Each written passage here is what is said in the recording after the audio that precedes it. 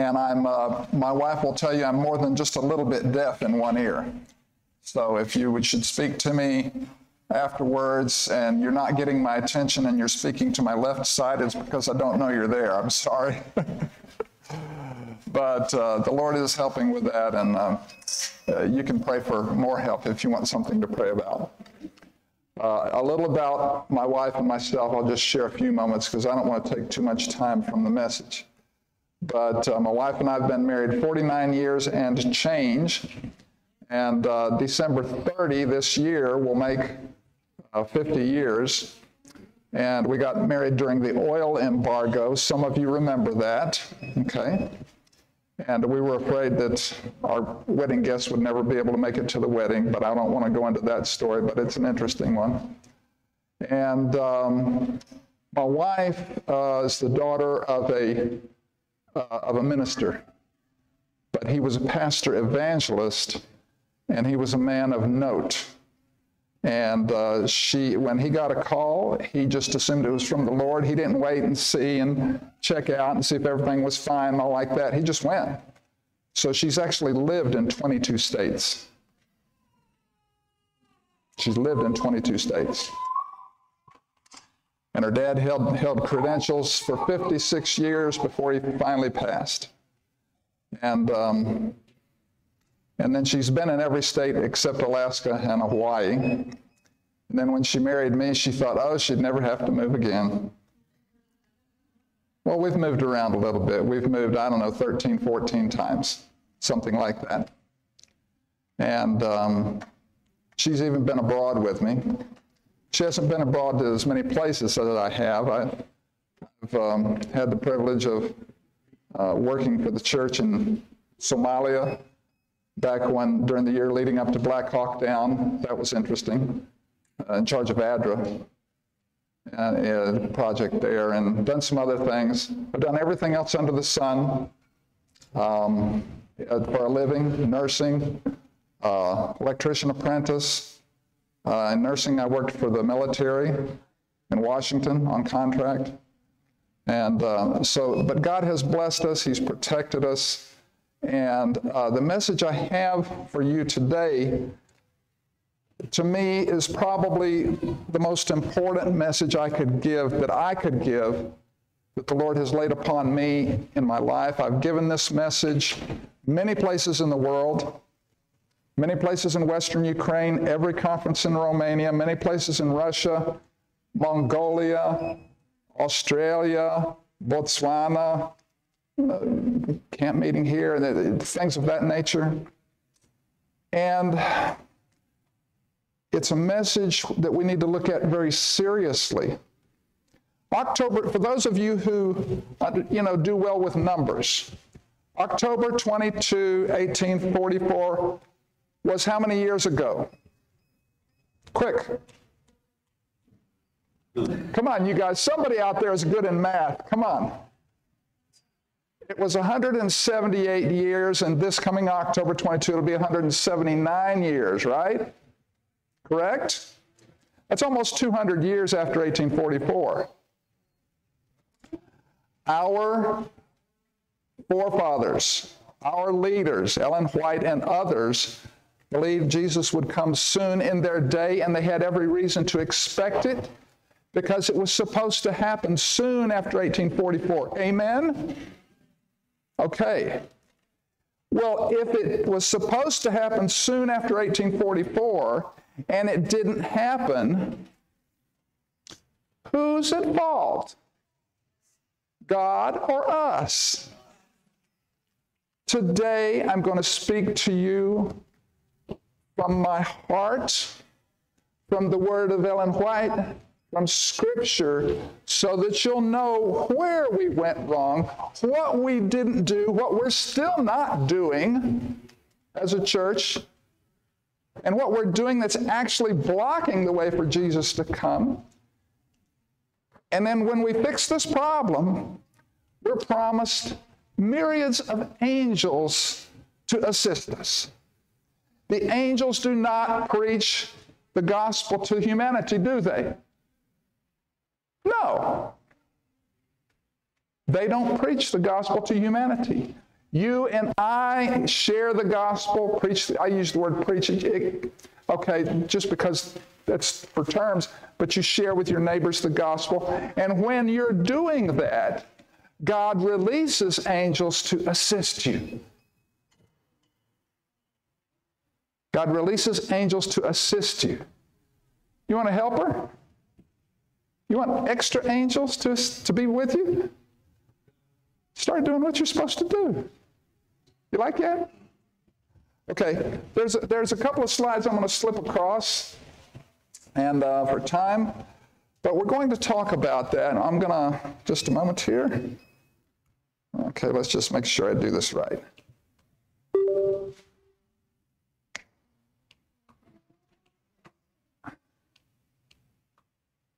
There we go. All right. We're going to talk about new churches in darkness. We've been, how many, how many of you, how many of you have been a lifelong Adventist? Okay, okay. During your lifetime, have you seen all these places around us receive an effort to plant a new church? Yes or no? You haven't, have you? All the towns around nearby? You haven't seen it, have you? Neither have I. So I'm getting a little ahead of myself, but you can see where I'm going. Now, in Ellen White's day, they read a lot of prophecies. One of the ones has to do with, there's a lot of sevens in, in Bible prophecy, correct? In, in Revelation, lots of sevens. But you have the seven trumpets, you have the seven churches, you have the sevens, all like that. When you get down to the sevens, you're at the end of everything, aren't you? Because it doesn't go to eight, okay? So a trumpet, now, even in, among Adventist theologians, there's not a 100% full agreement on everything about the trumpets. But one thing that they're all, they all agree upon is that they're warnings. They're warnings. They're calls to action and they're warnings. So in Revelation 11 and verse 15, we find uh, the seventh angel here. The seventh angel sounded and there were great voices in heaven saying, The kingdoms of this world are become the kingdoms of our Lord and of his Christ, and he shall reign forever and ever. Does this sound like you're getting close to the end of time? You know, it's okay if you say yes. Don't just sit there and do like this. Okay, we come on, we can do more than that, right? Okay? You're not dead out there. I'm, I'm going to call 911. It's okay. It sounds like we're getting close to the end, doesn't it? That sounds like it's okay. The kingdoms, it, it, sounds like it's already happened almost. Move forward nine verse, excuse me, four verses to Revelation 11, 19. And the temple of God was opened in heaven. When we talk about the temple opening in heaven, we're talking about the last day judgment, correct? We're talking about the judgment that's going on in heaven even as we speak. And the temple of God, of God, was open in heaven, and there was seen in his temple the ark of his testimony. And there were lightnings and voices and thunderings and an earthquake and great hail. It sounds like last events tied in with the time of the last day judgment of all mankind. Now let's see what Ellen White says. I love the writings of Ellen White. They're so wonderful. They help somebody like me to make sense out of some things, okay? We're supposed to study our Bibles, but if you'd like some really good help, it won't hurt you to turn to Spirit of Prophecy, okay? Let's go to Great Controversy. The temple of God, and this is from page 433. The temple of God was opened in heaven, and there was seen, one moment. And there was seen in his temple the ark of his testament, Revelation 11 19. The ark of God's testament is in the Holy of Holies, the second apartment of the sanctuary. Are we following along clearly now? We know what we're talking about, okay? In the administration of the earthly tabernacle, which served under the example and shadow of heavenly things, the apartment was opened only on the great day of atonement for the cleansing of the sanctuary. Therefore, the announcement that the temple of God was opened in heaven and the ark of his testament was seen points to the opening of the most holy place in the heavenly sanctuary in 1844 as Christ entered there to perform the closing work of his atonement. So it's 1844. We're talking, we're talking our time that we're living in. From the time of 1844 onward, we're, we're in the same time period. Nothing has advanced. So the 1844, the antitypical day of atonement, the judgment, seventh trumpet, it's all one and the same thing. But now, back in Revelation 10, there is something which, if our forefathers had understood this correctly, if they'd understood this correctly, things might have been different. Okay? Maybe we wouldn't still be here today. Maybe we would have already been in heaven. Maybe you and I would not have been born. Please understand that if our forefathers had done their job as God expected them to, you and I would not have been born, neither would our parents, and perhaps not our grandparents either. Revelation 10 7. But in the days of the voice of the seventh angel, when he shall begin to sound. So we're talking about close to 1844, correct? The seventh angel started sounding in 1844. It says, when he shall begin to sound, the mystery of God should be finished, as he hath declared unto his servants the prophets. So, what on earth is this mystery of God that the Bible says would be finished? Says should be finished shortly after the trumpet began to sound. What is that mystery of God? So I thought, all right, I'm going to check this out, look it up. What is that mystery? Well, Ephesians 3 and some writings of Paul help us here. Ephesians 3 tells us, For this cause I, Paul, the prisoner of Jesus Christ for you Gentiles, if ye have heard of the dispensation of the grace of God, which is given me to you, word, how that by revelation he made known unto me the mystery. He's about to tell you what the mystery is.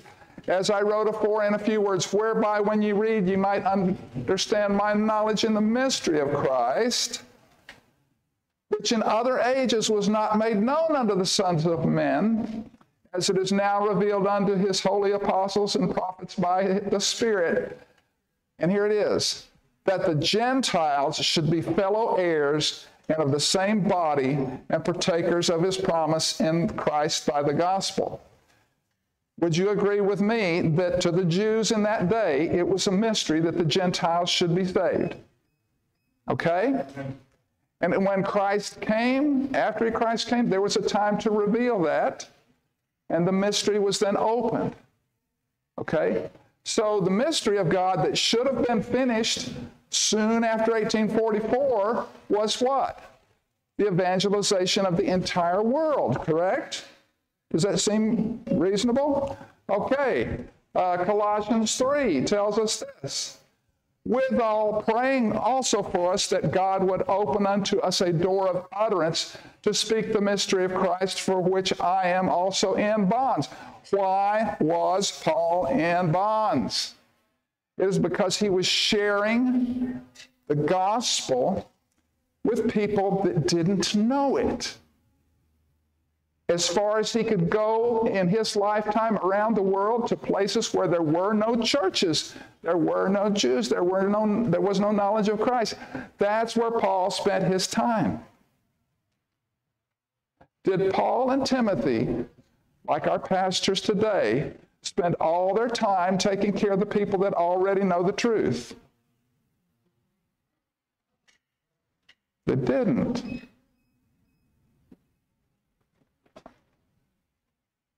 They didn't. Okay? So now, but in the days of the voice of the seventh angel, when he shall begin to sound, the mystery of God should be finished as he hath declared unto his servants the prophets. That word finished there, I want to tell you something about Greek, okay? I can tell you something, and you can tell by the tone of my voice what I mean. Okay? Like, I can say, sure, I'll go. That means I'm going to go. Or I can say, sure, I'll go. I just told you two different things, didn't I? Sure, I'll go. Or I can say, sure, I'll go. But in Greek, instead of saying it with a little tone in your voice to indicate what you mean, can tell by the way they spell the word exactly what it means.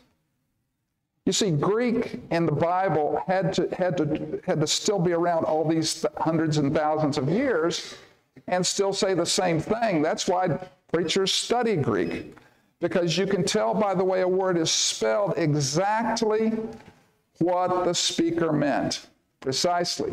So, what does that word finished mean? Well, it, the word there, uh, obviously, the prophecy wasn't at the correct time. Why? Well, that word should be finished. It's written in something that's called the subjunctive mood. The subjunctive mood is the mood of possibility and potentiality. The action described may or may not occur depending upon circumstances. Okay, so it's called conditional prophecy. Well, we have other illustrations, but even in Hebrew about conditional prophecy. The destruction of Jonah. Jonah was supposed to say 40 days, guys, and, and, and you're going to be destroyed. And then Jonah was upset because he knew that God wouldn't destroy him if they, if they, he hated them. And he really didn't want to give them the warning because he knew that after he told them they were going to be destroyed, if they were to repent, God would, would would, it was a conditional prophecy that God would not destroy them. So there's, uh, there's other places in Scripture other than that. And so, Desire of Ages, page 633, you know, when you read through some of these things in Spirit of Prophecy, they kind of come, they kind of go over the top. But when I was doing research for this, and and I've got a book out on it, and you can download it for free. Just go to letmypastorsgo.com. You can download it for free. LetMyPastorsGo.com. LetMyPastorsPluralGo.com. Well, let's go through this. God hath appointed a day in the which he will judge the world. Acts 17:33. Christ tells us when that day shall be ushered in. He does not say that all of the world will be converted, but that this gospel of the kingdom shall be preached in all of the world for a witness unto all nations, and then shall the end come. If Christ were to come one minute sooner, and there was somebody that had not received a warning, the devil could say, You weren't fair. You didn't give them an opportunity. Everyone has to have the, the opportunity for what we call the first right of refusal. Will most people accept it? No. But there's still those out there in towns all around here who haven't heard our message yet. And some of them will accept it.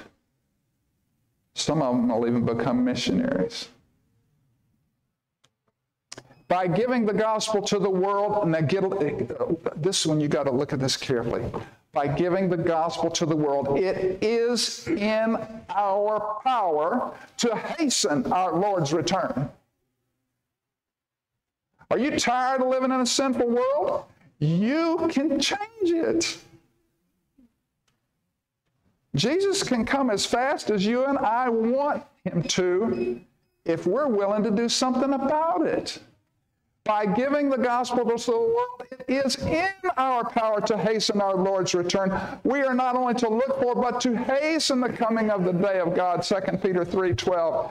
Had, now look, Ellen White was born November 26, 1827. Okay? And uh, this is Desire of Ages. It was published in 1898. Okay, so she was an older lady by this time. Okay? She would have been uh, 71 years old when this was published, if, I'm, if my math is correct. If my math is wrong, please forgive me, someone correct me. But anyway, had the church of Christ done her appointed work as the Lord ordained, the whole world before this would have been warned, and the Lord Jesus would have come to our earth in power and great glory because Matthew 24 14 has to be fulfilled. Period.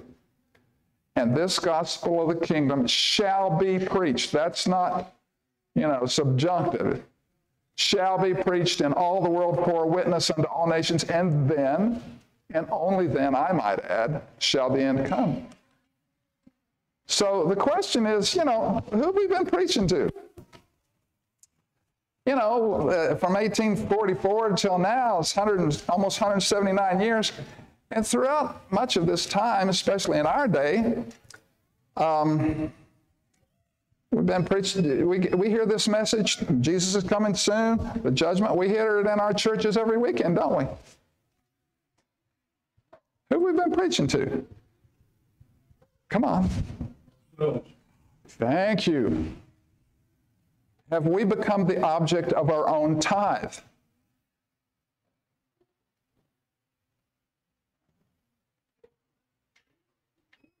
And, you know, and when I was in, um, it was either Romania or Ukraine. I don't remember which, but I said, Are we preaching to the choir?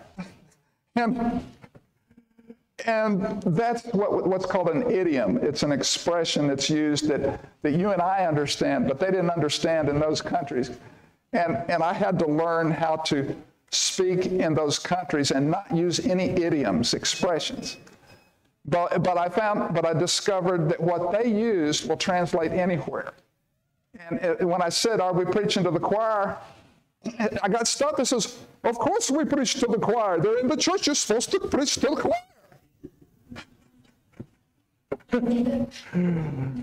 but they said, Are we knocking on doors that are already open?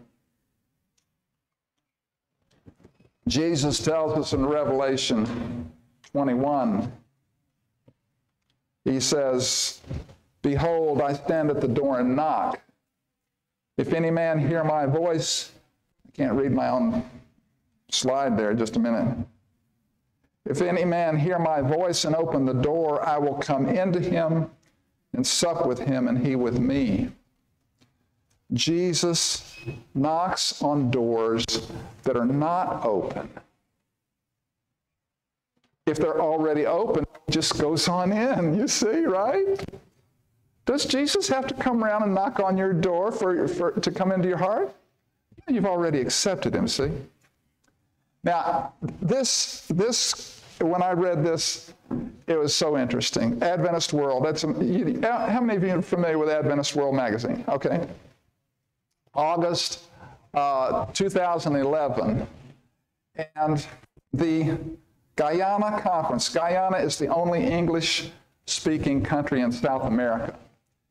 And their president is, uh, uh, at the time was uh, Bharrat Jagdeo. It doesn't sound very South American like, does it? Okay? There's a reason for that. The, the, they were having a, their conference session, and they had invited the president of the country to speak to the, to the conference session attendees.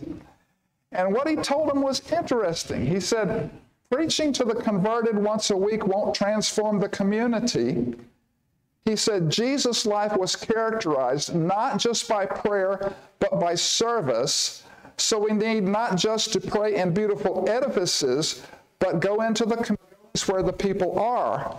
Now, what's interesting, Bharrat Jagdeo is not Christian, he's Hindu.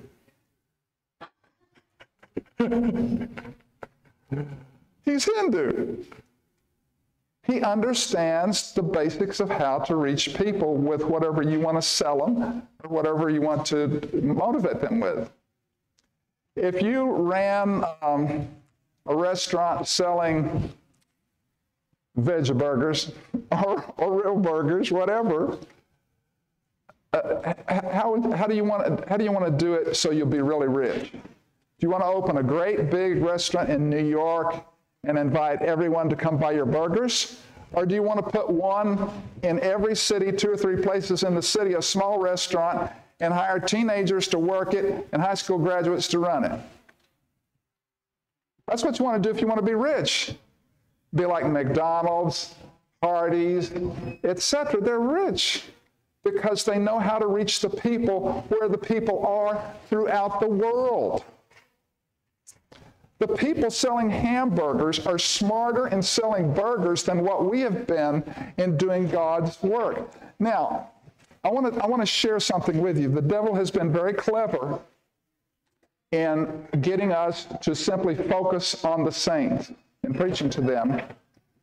And if you think about just the basic gospel message, like any of our other Protestant churches would share, Baptist, Presbyterian, Methodist, so forth, Jesus saves, accept the gospel of Jesus, just like that.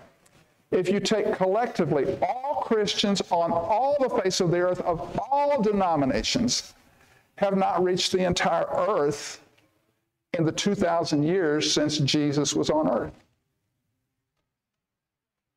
Right? Even today, I, I was reading recently, there were, there's 10,000 people groups in the world. 4,000 haven't, haven't had the opportunity to know about Jesus. 4,000 of those people groups. They may be small population people groups, but 4,000 groups, and not us plus Baptists, plus Presbyterians, plus Methodists, plus the brethren, etc., have, have been able to do it because the devil, all he had to do is say, okay, if I can take all the ministers, have them preach to all the saints, and make them the object of their own tithe, they'll expect the minister to do all the soul winning, they'll expect him to do all the visiting, attend all the board meetings and listen to us fight with each other and all of these other things. And then, since they're salaried and could afford to move around and plant churches in places where we have no churches, they won't be able to do that. And because the members have a pastor, they expect the pastor to do all the work, and everything is on a halt. Do you understand what I'm telling you? It's on a halt. It's on a halt. You can shoot at me when I leave. I don't care. I've given this world uh, many places in the world. But I'm telling you the truth. We are on a halt. And um, if we look and we read, many of you have read writings of Ellen White. What did the early pioneers do? They went place to place to place to place, and they would start up new churches. When they were done, they'd move to the next town, do the same thing until they got off track doing that. Until they got off track doing that. Ellen White, James, the early pioneers, Loughborough, all those guys, that's what they did. And then Ellen White warned them don't hover over the churches, don't hover over the churches, don't hover over the churches. And just like Israel, did we obey the prophet? Israel didn't. Israel was delayed 40 years in going into Egypt. We've been delayed closer to 200. There is a reason why the seventh church is called Laodicea. We're Laodicean, we're lukewarm.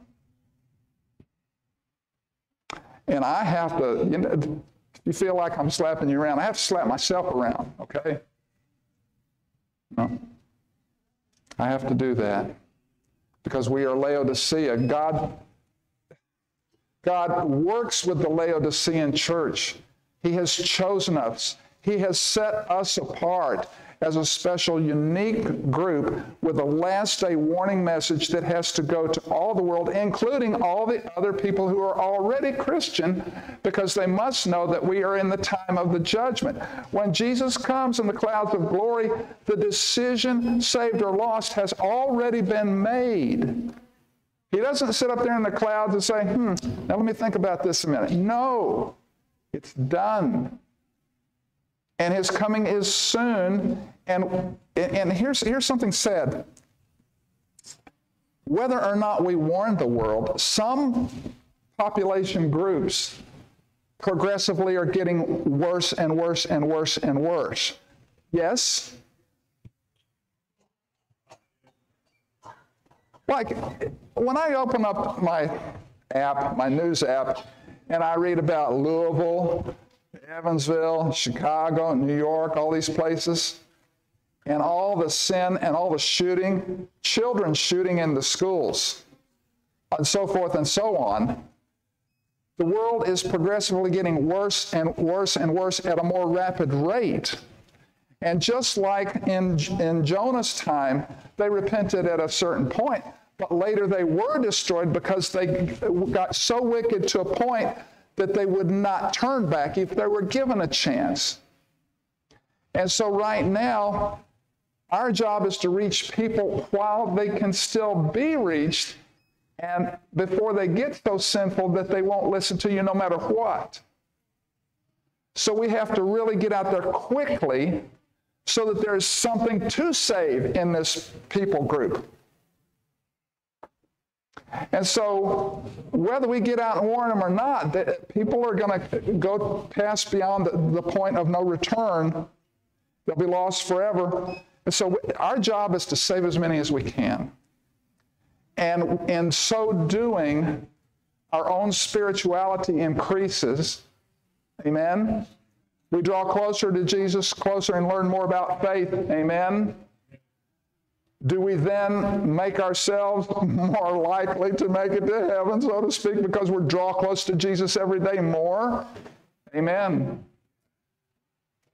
But won't it be a joy to be walking down, walking down the, the streets of uh, gold on one side of the river of life, and you know it spans both sides of the river, and looking across and see someone pointing at you and he's got a whole group with him. And he's explaining that's the man, the woman that told me, and that's why I'm here. But he's got 500 people with him. And you only reached the one, but he reached others, others, others, others, others. No matter what you have to spend, no matter what you have to sacrifice, it's going to be worth it. It's going to be worth it. It's going to be worth it. Don't you forget that. okay. Luke 4:18 The spirit of the Lord is upon me because he hath anointed me to preach the gospel to the poor. This is what Jesus did. He hath sent me to heal the brokenhearted, to preach deliverance to the captives and recovery of sight to the blind, to set at liberty them that are bruised. Mark 2 17, when Jesus heard it, he saith unto them, They that are whole have no need of the physician. Do you make an appointment to go to the doctor, you know, just to say hi? No. But they that are sick. I came not to call the righteous, but sinners to repentance. Your job and my job is to call sinners to repentance. Do you feel out of place or embarrassed or feel like you're unworthy to do it? Many of you may feel that way. You feel like, oh, I can't do that. I'm not trained to do that. Well, you know, how many of you know what OJT means? On the job training? On the job training? Down where, where we are, we were preaching a campaign one time, and there were two young men. And I refused to preach the whole campaign. I wanted those two men, young men to get experience. One of them never went to college, the other one did, but got a, some other kind of degree. They, and their first sermons sounded like a lot of people's first sermons. But one night, I heard one of them preach the best presentation of that topic I'd ever heard in my life from any living speaking, speaker, and I've attended campaigns by the best. On a different night, the same thing happened with another guy. A couple of years after that, I realized that if I had decided to preach the whole campaign myself because I had the experience, I would have stolen from the Holy Spirit the opportunity to improve those men's talents. And then when I would be called to give this type of seminar to places overseas, I didn't worry about the place. I didn't worry about pulpit coverage. I didn't give them a list of what to do. I just left. I just went. They took over. Now they, they outstrip me in some ways. called OJT. Great Controversy, page 457 and 458. Now, Great Controversy, much of Great Controversy was, um, was first published in a book called Spirit of Prophecy, Volume 4, three, volumes 3 and 4, and that was published in 1884, if I remember. Uh, let me just let me just check on that here. I, I, I, my vision doesn't extend quite out that far. But um, let's do it this way. There we go. Yeah, in 1884. So 1884, uh, Ellen White would have been 57 years old at this time. Think about that a minute. The history of ancient Israel is a striking illustration of the past experience of the Adventist body. God led his people even, uh, wait a minute. God led his people in the Advent movement even as he led the children of Israel from Egypt. If all who had labored unitedly in the work of 1844 had received the third angel's message and proclaimed it in the power of the Holy Spirit, the Lord would have wrought mightily with their efforts. A flood of light would have been shed upon the world, Years ago, the inhabitants of the earth would have been warned, the closing work completed, and Christ would have come for the redemption of his people. The lady was 57 years old when this was published, and she said, Years ago, the inhabitants of the world would have been warned, the closing work completed. When you're almost 60 and you're talking about something happened years ago, it means a long time. It would have been very close after 1844 and Christ would have come for the redemption of his people. It was not the will of God that Israel should wander 40 years in the wilderness.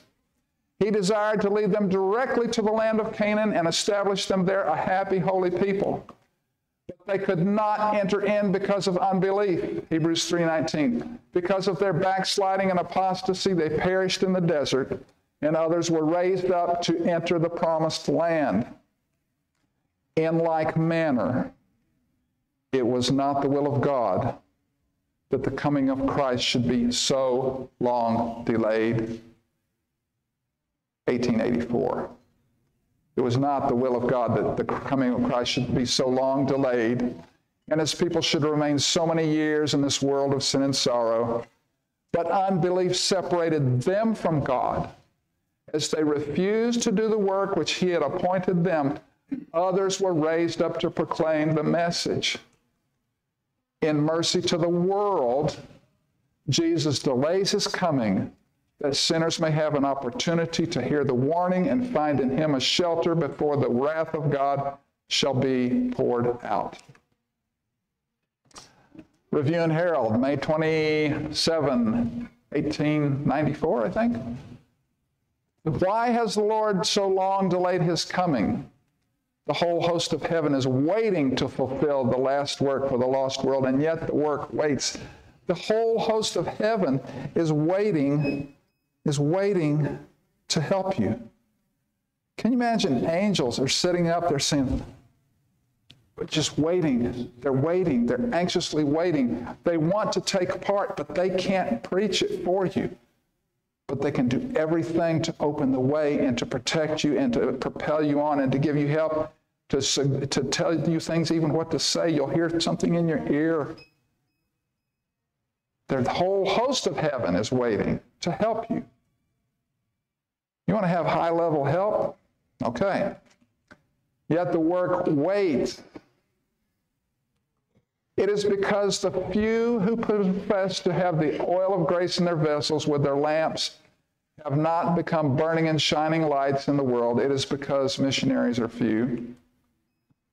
Evangelism, page 696. For 40 years did unbelief, murmuring, and rebellion shut out the ancient Israel from the land of Canaan. The same sins have delayed the entrance of modern Israel into the heavenly Canaan. In neither case were the promises of God at fault.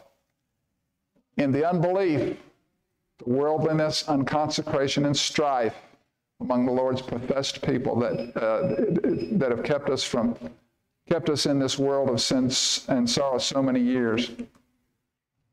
manuscript releases. Uh, okay. This was written in 1901, volume 10. We may have to remain in this world because of insubordination. I don't like that word when it applies to me. We may have to remain in this world because of insubordination many more years, as did the children of Israel. But for Christ's sake, his people should not add sin to sin by charging God with the consequence of their own wrong course of action. It's not God's fault, in other words. It's not his fault that he, has, he hasn't just sort of decided to wait long. No, it's a direct response to us. Now have men who claim to believe the word of God learned that their lesson that obedience is better than sacrifice. Broadside 2, this was a pamphlet written in 1849. I saw that the time for Jesus to be in the most holy place was nearly finished, and that time can last but a very little longer. Oh, mercy. This was the expectation when they were doing things right. Okay? But we got off track. First selected messages, page 67. It is true that time has continued longer than we expected in the early days of the message. Our Savior did not appear as soon as we had hoped. But has the word of the Lord failed? Never.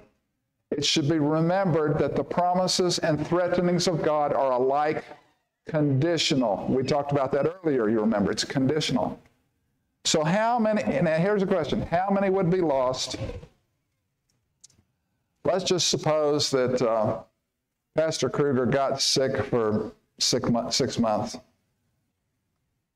couldn't come and the conference couldn't send a pastor to speak to you or, or visit you or attend your board meetings, how many of you saints here would be lost forever, burn in the lake of fire, not go to heaven because of that?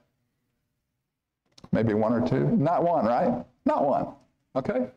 But suppose that every pastor in the Indiana conference was locked up in jail for five years for preaching the gospel. Now, when I spoke in Russia about this, they knew what I was talking about. I talked to one pastor, still remembers the day that his dad was let off to jail. He never saw him again. There was a time when there were, uh, earlier on, when there were not so many pastors in Russia, when there were 200 pastors there and 198 were in jail.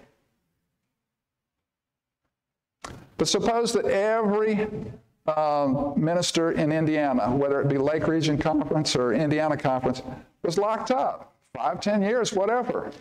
How many of the baptized saints would be lost forever, not, you know, burn in the lake of fire and not go to heaven because of that fact? Not one. Many might be lost, but it wouldn't be because of that. It'd be their own fault. Would you agree? Okay. But how about how about how many have been lost in the last five or 10 or 15 years or the last two years with all this shooting going on in areas where we could have made efforts to enter but didn't. How many of them may have been lost forever, burned to the lake of fire because we didn't get to them in time? We have to admit that number has to be high. It has to be high. General Conference Bulletin, April 14, 1901, paragraph 21. The work of a minister is to minister. Now, some of these are hot quotes, folks. Our ministers are to work on the gospel plan of ministering. It has been presented to me that all through America there are barren fields. As I traveled through the South on my way to the conference, I saw city after city that was unworked. What is the matter? The ministers are hovering over the churches which know the truth, while thousands are perishing out of Christ. If the proper instruction were given, if the proper methods were followed, every church member would do his work as a member of the body. He would do Christian missionary work. Doesn't mean that all of you have to preach. But you have to do what you're able to do, and that will be different for all of you. And, and then you have to be willing to even try a little more. But the churches are dying, and they want a minister to preach to them. They should be taught to bring a faithful tithe to God that He may strengthen and bless them. They should be brought into working order that the breath of God may come to them. They should be taught that unless they can stand alone without a minister, they need to be converted anew and baptized anew. They need to be born again. I know what to tell at the ministers' meeting how they can get more baptisms this year. Some of you are smiling with me. You know exactly what I'm talking about. Isn't it sad when, we, when, we're, when we're forced to look at our own reality? It's really sad, isn't it? But we can change it on a moment's notice. We can change it on a moment's notice. We can go to our knees and say, Lord, help me. I want, I want to challenge you to do something that I've done for several, for a number of years now. And it's this every morning when you get up, say, Lord, let it be by the end of the day that at least one or more persons and or one or more entities could be an organization is somehow more in harmony with your will more enlightened on health okay or uh, their lives are better off in, in, in your view, view. could be enlightenment on the sabbath could be just uh, learning some other element could be something health could be uh, better finances tithe whatever because I'm on this earth. Let not one day be wasted. And every day that I have prayed that, every single day, by the end of the day, I have seen where God has worked in some way, made some divine appointment for me. You know, I turned this way and there was, there was somebody, you know. It has never failed one single day. Do you think that when you give yourself to God in the morning that way, that He's going to say, I don't think so? No, He's not going to. He's going to work through your life because you want to be used by Him.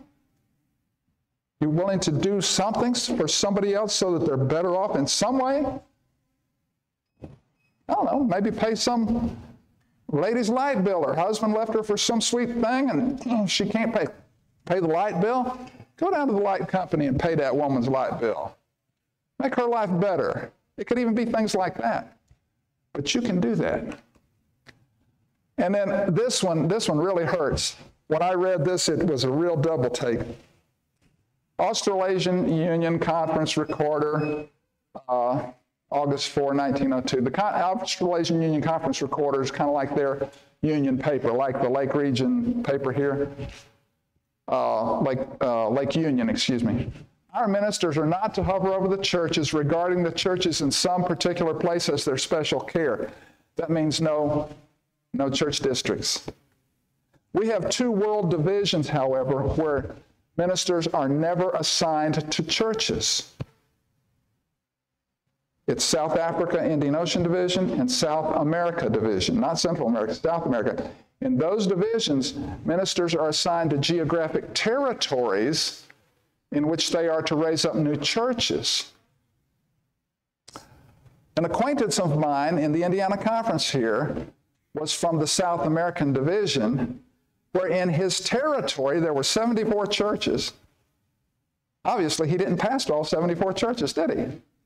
In those churches, they do exactly like the Apostle Paul. They raise up new churches, turn it over to the elders to pastor them. Our ministers are not to hover over the churches regarding the churches in some particular places their special care, and our churches should not feel jealous and neglected if they do not receive ministerial labor. They should themselves take up the burden and labor most earnestly for souls. You'll fill this church up so fast, you'll have to have double services. Instead of one person who has to drive an hour from someplace else to get here to church and then 30 minutes another place and all like that and try to cover all the territory in between, win all the souls, souls attend all the board meetings, and, and, and preach to all the saints. Eh, eh, they don't have any time to do any real ministerial work and start new churches, do they? I know he drives a long way to church because I drove here today. Instead of Testimonies Volume 6. Instead of keeping the ministers at work for the churches that already know the truth, let the members of the churches say to these laborers, This is what you're supposed to tell the pastors. Go work for souls that are perishing in darkness. We ourselves will carry forward the services of the church. We will keep up the meetings, and by abiding in Christ, will maintain spiritual life. That's just a basic request. That's simple. We will work for souls that are about us, and we will send our prayers and our gifts to sustain the laborers in more needy and destitute fields. Foremost among those called to preach the gospel stands the Apostle Paul, to every minister an example of loyalty, devotion, and untiring effort. And we could just go on and on and on. I've got so much more, but I want you to remember what I've given to you. This presentation has a lot more slides, and I don't want to wear you out. But I think I've given you a pretty good bit to think about. I'm going to go through a few and just see if there's something else that I feel that I need to share because if I had to go through everything left, I'm afraid that uh, um, you'd be glad to see me go. Yeah? Oh, yes, yes. Um, wait a minute. I may have one back in my briefcase there. Uh, oh, I will. Um, I will share with you something else, though. Here, we're going to go to. Um,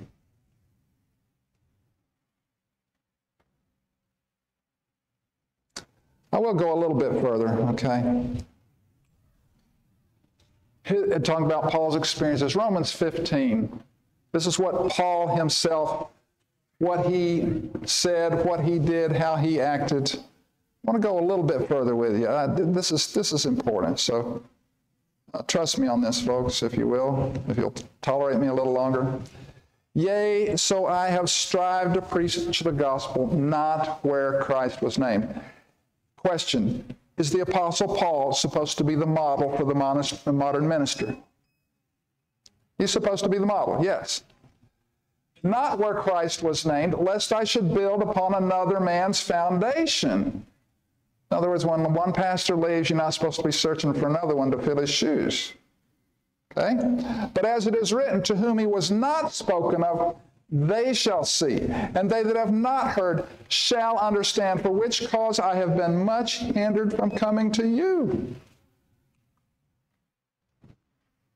Romans 10, verses 13, 14. For whoever shall call upon the name of the Lord shall be saved. How then shall they call on him in whom they have not believed? And how shall they believe in him in whom they have not heard?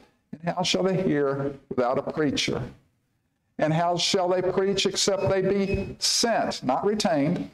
As it is written, How beautiful are the feet of them that preach the gospel of peace and bring glad tidings of good things. But they have not all obeyed the gospel, for Isaiah, Isaiah saith, Lord, who hath believed our report? Galatians 3, verse 8, and the scripture, foreseeing that God would justify the heathen through faith, preached before the gospel unto Abraham, saying, In thee shall all nations be blessed. Now, there is an important passage here in Acts. Paul is going back to Jerusalem. He stops at Miletus and he calls for the elders from Ephesus. He wants to speak to them. And he's going to give them instructions. And he said, Take heed, therefore, unto yourselves and to all the flock over the which the Holy Ghost hath made you overseers to feed the church of God, which he hath purchased with his own blood. Now, who is it that has designated the elders to be the overseers? Who does it say? The Holy Ghost. Okay. The Holy Spirit Himself has designated the elders to be the overseers of the church of God. Okay? Is it wise to go against the Holy Spirit? Absolutely not. Absolutely not. Well, then, who? What? What does this term over? What is overseers? What does this literally mean? First Peter uh, one. Uh, First Peter five. Uh, Peter is talking to the elders. He says, "Feed the flock of God, which is among you, taking oversight." There's that word oversee.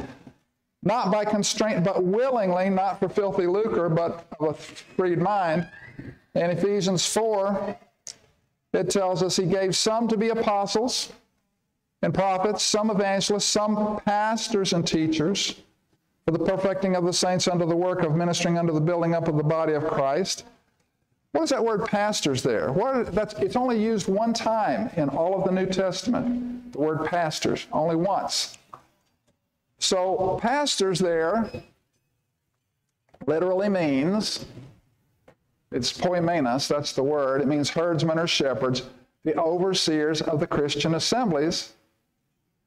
And the Holy Ghost has said that those people are the elders. And so, literally, what it's saying, he gave some to be apostles. That's like the folks we call pastors. Their real title is minister. You've never heard of the term minister, uh, you know, you've heard the term minister of the gospel, but you've never heard the term pastor of the gospel, have you? Okay? Some to be apostles, that would be like your, your past, the people you've called pastors all this time.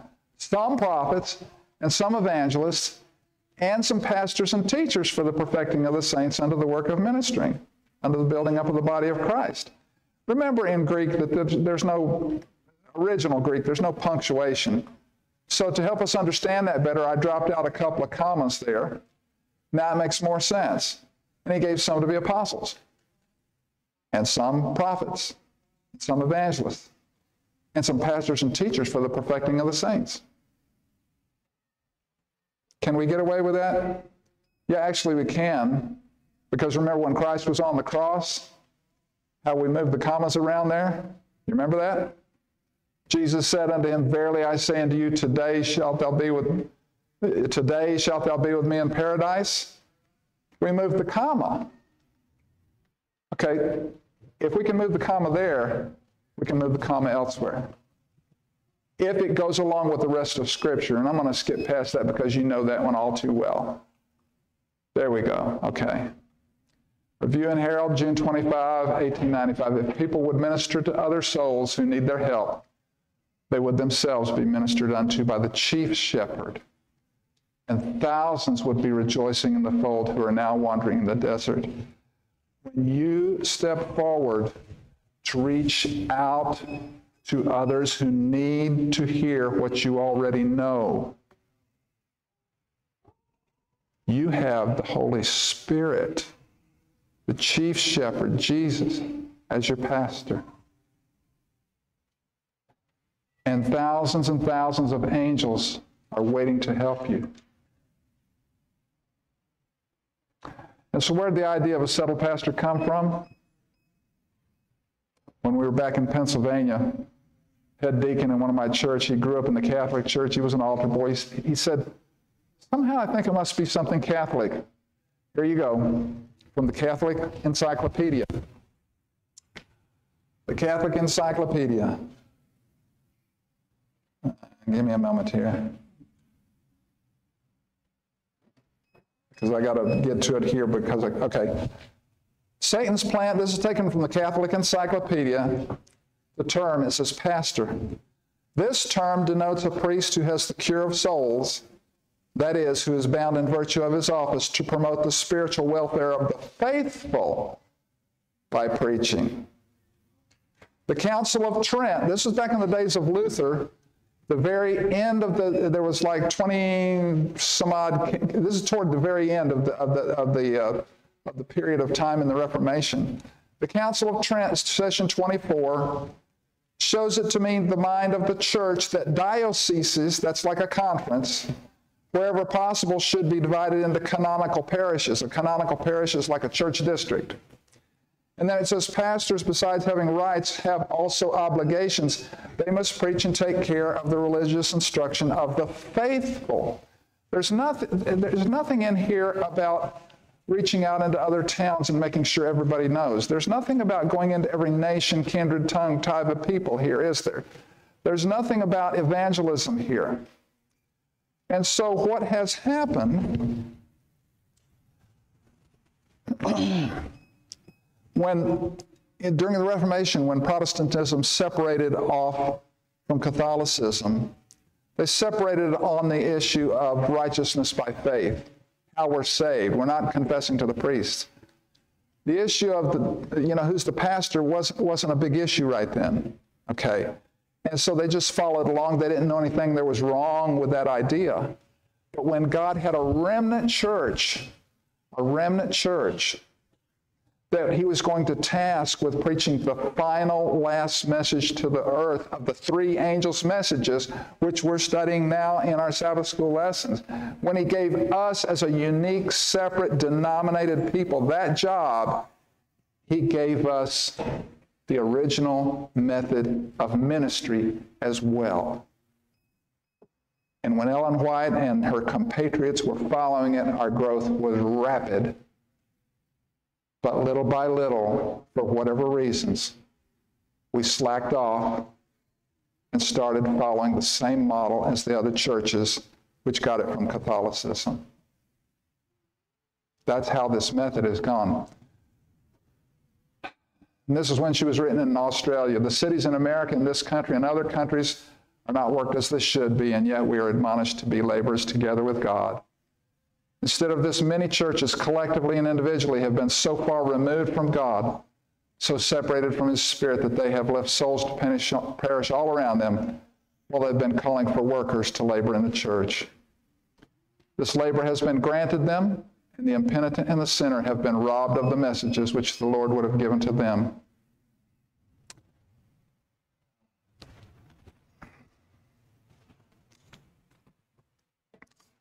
The Earth is about 240,000 miles away. If you get if you were in a, a rocket going 1,000 miles an hour, it'd take about 10 days to get there. 1,000 miles times 24 hours, that's 24,000. That's 240,000, take about 10 days. But the population of the Earth is about 7.8 billion.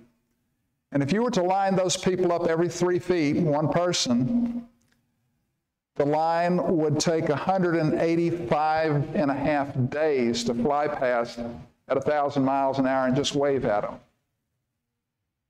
Can you see that we're up against an impossible task? It's a task that you and I cannot do. God is asking us to do something that we can't do. You can't save yourself, can you? Have you learned that you can't be your own righteousness? You've learned that. It all requires help from above. It requires angels and God and, and everything all involved in it to give you the power. So when God asks us to do this, expects us to do this, commands us to do this before He will return, He's asking us to do something none of you can do. All of us together can't do it. But when we go out to do that which we know is impossible, thousands and then thousands of angels who are now waiting line up.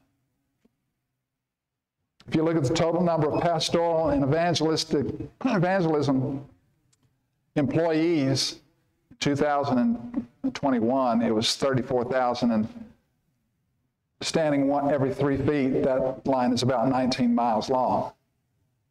So you see, we've got an impossible task, okay? And but here you go. I, I want to close on this quote, okay? In that, and uh, Testimonies for the Church, Volume Nine, page 129. In working for perishing souls, you have the companionship of angels. Thousands upon thousands, and 10,000 times 10,000 angels are waiting to cooperate with members of our churches in communicating the light that God has generously given that a people may be prepared for the coming of Christ.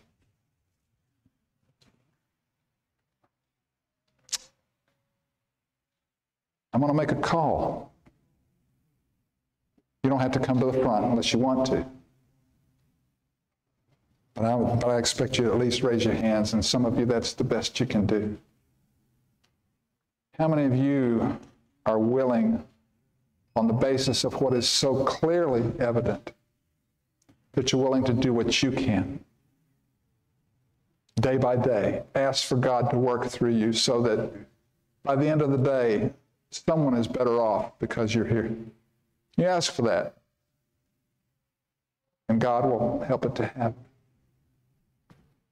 How many of you are willing to seriously study into the issue of telling the pastors, go work for souls in darkness? We ourselves will keep up the meetings of the church. You know, I, I listened to the Sabbath school this morning. I, I thought it was pretty good. I think your leadership in this church are pretty capable. You strike me as that way. If you've got enough together if you've got it together enough to build a beautiful place like this, this means that you can work together. This means that you can do stuff together. this means that you can even put your young people, your, your kids, up to preach. My 18 year old grandson's going to be preaching soon and his two younger brothers, they take off offering just like their deacons. You know, the, the Pathfinders do that. If they can do that, how many of you are willing to, to give this your support because we're told to do it? Let's pray. Father in heaven, we are weak.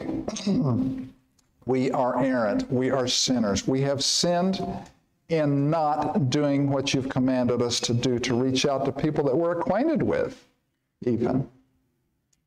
So, Lord, take us now.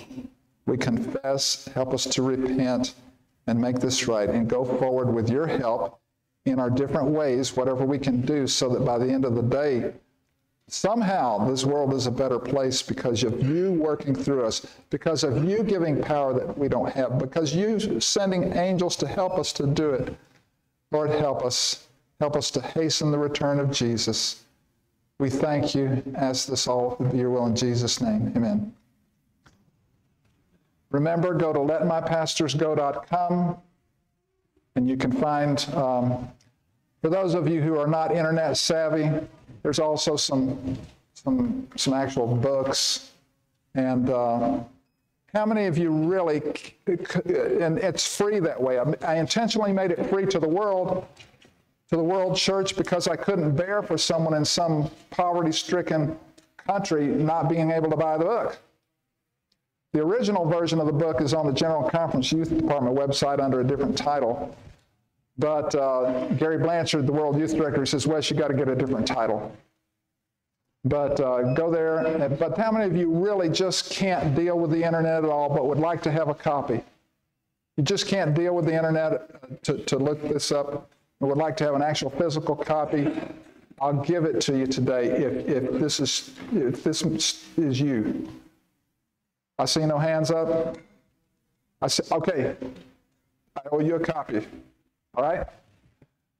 Thank you so much.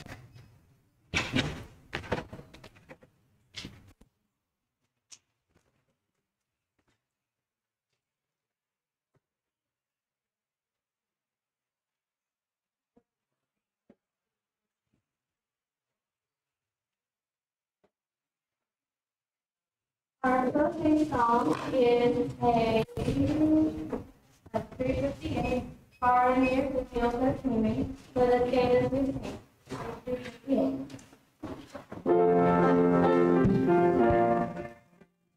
358. Nowhere near the fields are teeming with the sheep of ripening grain. Near the fields are teeming with the sheep ripening grain.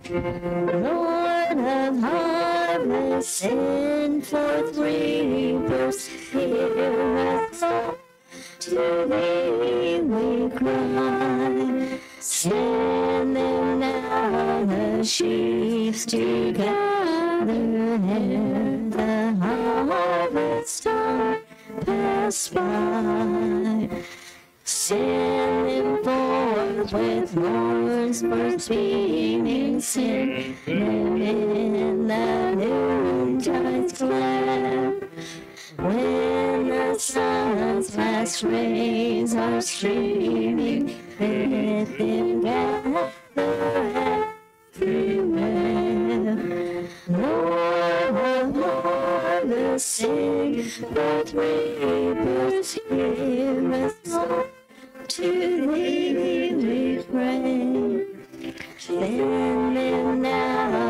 sheaves together, and the harvest time pass by.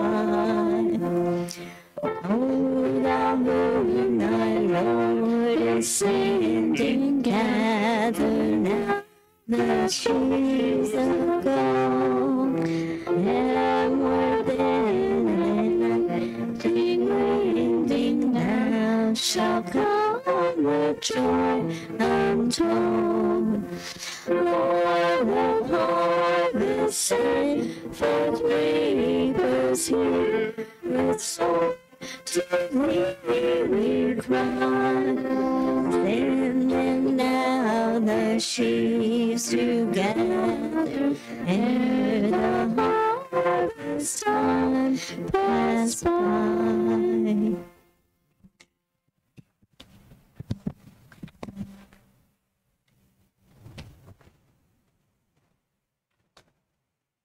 Father in heaven, be with us now as we depart. May today be a new day.